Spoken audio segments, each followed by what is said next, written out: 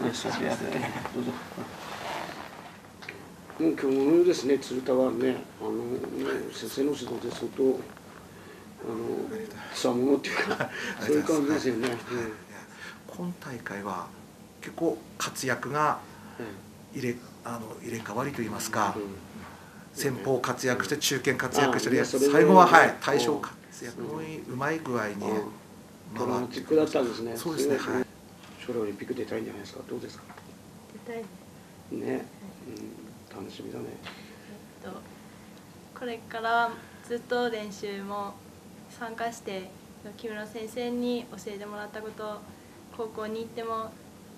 し出せ出してで高校1年生からでもインターハイで活躍できる選手になりたいです。高校でもまた日本一になれるように頑張りたいと思うので今からと毎日3年生でも後輩といっぱい練習して高校でも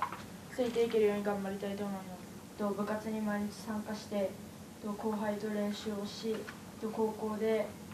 と毎回の練習についていけるように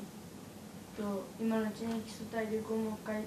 身につけ直して高校でも活躍できるように頑張りたいです。これからも頑張るぞ。